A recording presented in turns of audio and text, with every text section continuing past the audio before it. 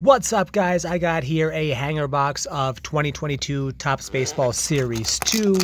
Let's begin.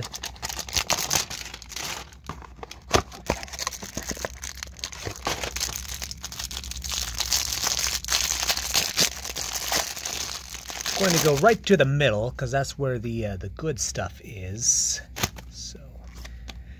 All right, the Big Hurt, a throwback card, a throwback relic card at that. Very nice. A Giancarlo Stanton Topps Chrome variant.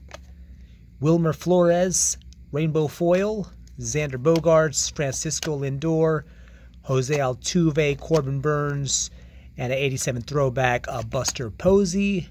No hit club of another Hall of Famer, Tom Seaver. All right, folks, that is it for this video. Be sure to hit like and subscribe. Thank you for watching.